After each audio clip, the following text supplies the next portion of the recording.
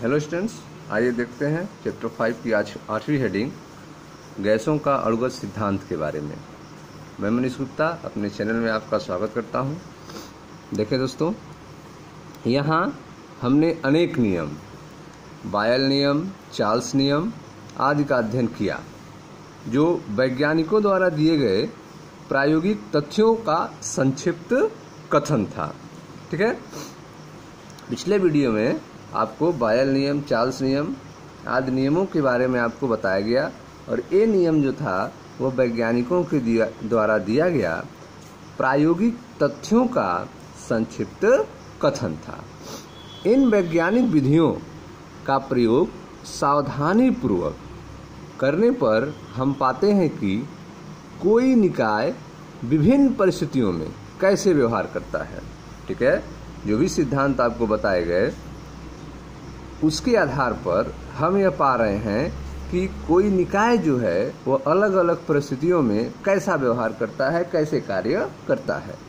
जब प्रायोगिक तथ्य स्थापित हो जाते हैं, तब वैज्ञानिक यह जानने के लिए उत्सुक रहते हैं कि निकाय इस प्रकार का व्यवहार क्यों करता है। ठीक है? इस जब कोई नियम बन जाता है, उसके बाद वैज्ञानिक यह जानने की कोशिश करते हैं कि निकाय जो है, उस नियम का पालन क्यों कर रहा है? जैसे उदाहरण के रूप में देखें।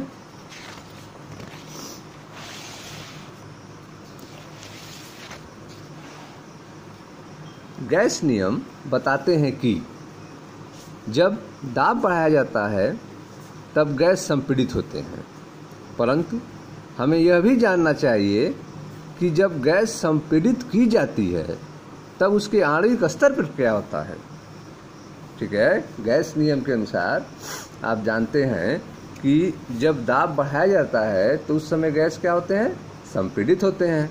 लेकिन हमें यह भी जानना चाहिए कि जब गैस संपीड़ित की जाती है, तब उसके आणविक स्तर पर क्या होता है? इन प्रश्नों का उत्तर देने के लिए एक सिद्धांत बनाया गया। यह सिद्धांत हमारे अवलोकनों को अच्छी तरह समझने के लिए, समझने में एक मॉडल का कार्य करता है। ठीक है? वह सिद्धांत जो गैसों के व्यवहार का स्पष्टीकरण देता है, गैसों का अड़ुगत सिद्धांत कहलाता है। ठीक है? वह सिद्धांत जो गैसों के व्यवहार का स्पष्टीकरण देता है, गैसों का अड़ुगत सिद्धांत कहलाता है, यह परमाणविक और आणविक स्तर का प्रसार है। ठीक है? आगे देखें ध्यान से। गैसों के अणुगत सिद्धांत के प्रमुख जो अभिगृहित हैं, वे कौन कौन हैं, इनके बारे में आपको समझाया जाएगा। गैसों के अणुगत सिद्धांत के प्रमुख अभिगृहित नीचे दिए गए हैं। ये अभिगृहित उन अणु तथा परमाणुओं से संबंधित है, जिनको देखा नहीं जा सकता है। ठीक है? जो भी अभिगृहित यहाँ पर दिए गए हैं, जानकारियाँ दी गई हैं यह ऐसे अणुओं से संबंधित है जिनको देखा नहीं जा, जा सकता है। अतः ये सिद्धांत गैसों के सूक्ष्मदर्शी प्रतिरूप है। देखिए सिद्धांत जो है वो गैसों के सूक्ष्मदर्शी प्रतिरूप है। गैसों के अणुगत सिद्धांत पर आधारित गणनाएँ तथा अनुमान इनके प्रायोगिक प्रेक्षणों के अनुरूप होते हैं। इस मॉडल की संशुद्धि रूप को स्थापित करते हैं। ठीक है? तो आप देख रहे हैं कि अब आपको गैसों के अणुगत सिद्धांत के प्रमुख अभिगृहित के बारे में बताया जाएगा। ठीक है? यह अभिगृहित जो है, अणुओं और परमाणुओं से संबंधित हैं, ठीक है? जिनको देखा नहीं जा सकता है। अतः ये सिद्धांत जो है, गैसों के सूक्ष्मदर्शी प्रतिरूप हैं। गैसों के अणुगत सिद्धांत पर आधारित गणनाएँ तथा अनुमान इनके प्रायोगिक परीक्षणों के अनुरूप होते हैं। तथा इस मॉडल के संरूप, संशुद्ध रूप को स्थापित करते हैं। तो आइए अब इनके अवगृहित को जानें। पहला देखें, गैस अधिक संख्या में समरूप कणों से मिलकर बनी होती है। गैस जो है, वो अधिक संख्या में समरूप कणों, अर्थात परमाणु या आयनों अणुओं से मिलकर बने होते हैं। ये कण इतने छोटे छोटे तथा इतने दूर दूर होते हैं कि गैस के अणुओं का कुल आयतन उनके मध्य के रिक्त स्थान की तुलना में नगण्य होता है। गैस के अणुओं का, ठीक है? गैस के अणुओं का कुल आयतन जो है, उनके बीच के रिक्त स्थान की तुलना में नगण्य होता है। यह अविगृहित गैसों की उच्च संपीड्यता को व्यक्त करता है। ठीक है? गैस अधिक संख्या में समरूप कणों, एक जैसे कणों, अर्थात परमाणु या अणु, से मिलकर बनी होती हैं। एक कण इतने छोटे छोटे तथा इतने दूर दूर होते हैं कि गैस के अणुओं का कुल आयतन उनके मध्य के रिक्त स्थान की तुलना में नगण्य होता है। यह अभिगृहित गैसों की उच्च संपीड्यता को व्यक्त करते हैं। अगला देखें। सामान्य ताप योदाब पर गैस कणों के मध्य कोई आकर्षण बल नहीं होता है। सामान्य ताप और दाब पर गैस के मध्य कोई आकर्षण बल नहीं होता है। इस अपघृत का आधार यह है कि गैस प्रसारित होकर उनके लिए उपलब्ध स्थान को पूर्णतः घेर लेती है, तथा सामान्य ताप दाब पर द्रवीकृत नहीं होती है। ठीक है? सामान्य ताप और दाब पर गैस कणों के मध्य कोई आकर्षण बल नहीं होता है। इस अवगृत का आधार यह है कि गैस प्रसारित होकर एक्सपेंड होकर फैल कर, उनके लिए उपलब्ध स्थान को पूर्णतः घेर लेती हैं तथा सामान्य ताप और दाब पर द्रवीकृत नहीं होती हैं। गैस के कण लगातार गतिक अवस्था में रहते हैं। गैस के कण लगातार गति करते रहते हैं। यदि वे कण स्थिर अवस्था में होते तो गैस एक निश्चित आकृति ग्रहण कर लेती, परंतु ऐसा परीक्षित नहीं होता है। ठीक है? गैस के कण प्रत्येक संभव दिशा में सीधी रेखा में गमन करते रहते हैं। गैस के कण जो हैं, वे प्रत्येक संभव दिशा में सीधी रेखा में गमन करते रहते हैं। अपनी गति के दौरान ये आपस में तथा पात्र की दीवार से टकराते रहते हैं। गैस के द्वारा उत्पन्न दाब पात्र की दीवारों पर गैस के अणुओं द्वारा किए गए प्रहार का ही परिणाम होता है। ठीक है? तो गैस के कण जो हैं, वे प्रत्येक दिशा में सीधी रेखा में गमन करते रहते हैं। अपनी गति के दौरान ये आपस में और बर्तन की दीवार से टकराते रहते हैं। गैस के द्वारा उत्पन्न दाब जो होता है, वो बर्तन की दीवारों पर गैस के अणुओं द्वारा किए गए प्रहार, किए गए टक्कर का परिणाम होता है।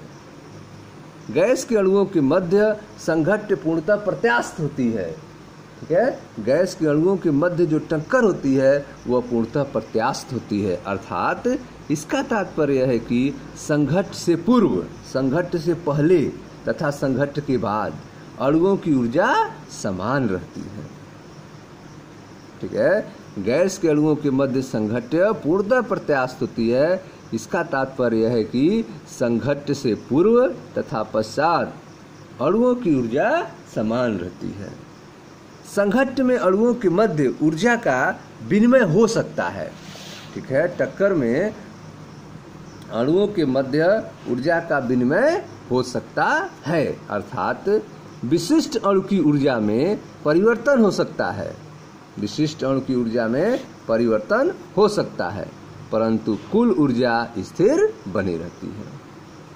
यह अभिगृहित इस तथ्य पर आधारित है कि गैस का स्वतः शीतलन या उष्मन नहीं होता है।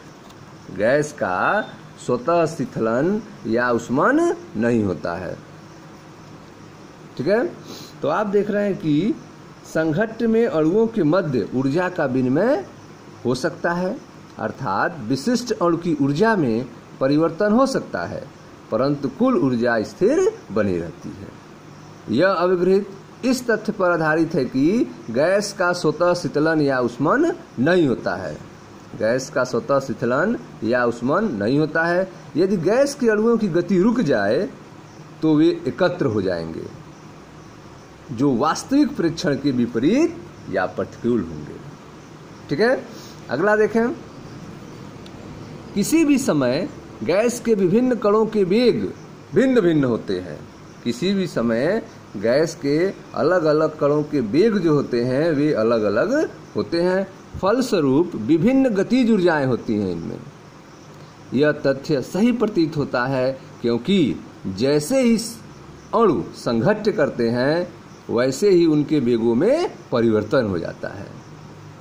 यदि सभी अणुओं के प्रारंभिक वेग समान हो तो भी संघट के उपरांत उनमें एक रूपता समाप्त हो जाती है।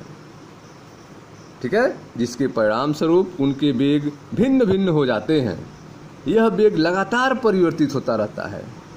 इसके बावजूद निश्चित ताप पर वेगों का वितरण समान बना रहता है। ठीक है? तो यह वेग जो है, लगातार परिवर्तित होता रहता है। इसके बावजूद जो है, निश्चित ताप पर वेगों का वितरण समान बना रहता है। यदि यदि एक अणु में विभिन्न वेग होते हैं तो उनकी विभिन्न गतिज ऊर्जाएँ होंगी। ठीक है? आप देख रहे हैं कि गैसों के अणुओं में अलग अलग वेग होते हैं। इसका अर्थ क्या हुआ? यदि एक अणु में विभिन्न वेग होते हैं तो उनकी विभिन्न गतिज ऊर्जाएँ होंगी। ऐसी परिस्थिति में हम केवल औसत गतिज ऊर्जा की बात बात कर सकते हैं।